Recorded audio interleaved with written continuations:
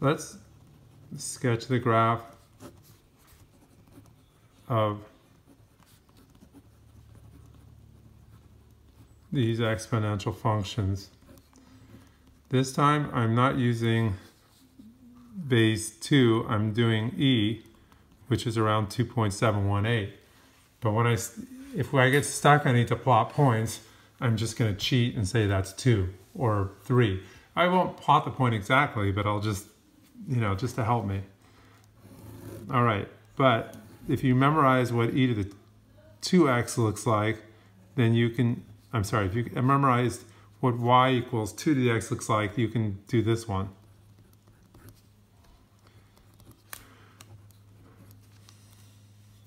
Okay, so let's just say this is a reference y equals 2 to the x.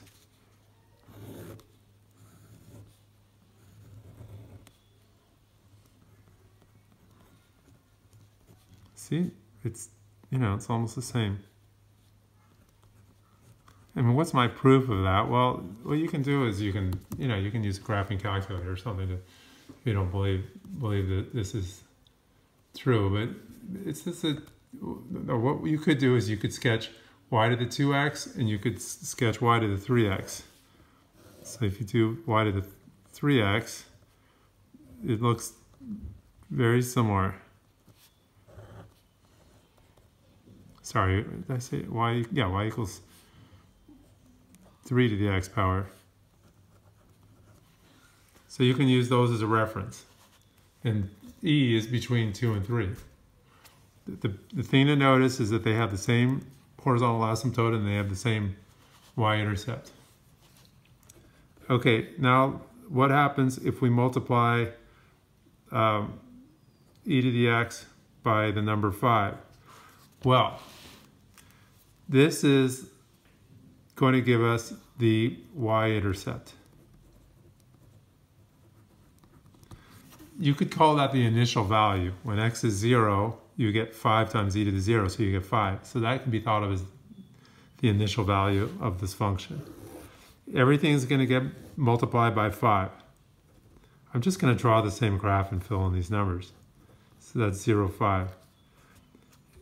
You had before referring to this picture up here, we have um, a horizontal asymptote y equals 0. Well, you multiply that by 5 also. 0 times 5 is 0.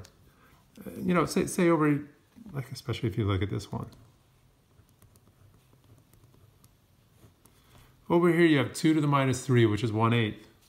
So you're getting something like that over here. You're getting e to the minus 3, which is around, you know, it's between 1 8th, 1 over 27. It's a small number. You multiply the small number by 5 and it's still small. That's my point, is that, that in your original graph, over here you had small numbers and you multiply by 5, it's real small.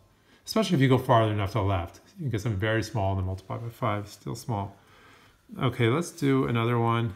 Let's do uh, C, y equals e to the negative x, and let's add 2 to that. Okay. So what is this going to do? This is going to give us a shift up by 2. And what will that do? That will change the horizontal asymptote. Now what about this e to the negative x? Well, you can refer to 2 to the minus x. That is going to make it go down like this. And so you can plot points, put in especially 0. So just put in 0, and we get e to the negative 0 plus 2 makes 1 plus 2, which makes 3. So multiplying by 5 stretches the graph out and changes the, um, the y-intercept. Adding 2 does not, it, it, it shifts the graph up. So notice, see, when you multiply by 5, we still have the same horizontal asymptote. Here adding 2 shifts this up. So the horizontal asymptote cha changes and so does the, um, the intercept. These aren't to the same scale, which is maybe not so great, but if you look at them next to each other, they're at different scales.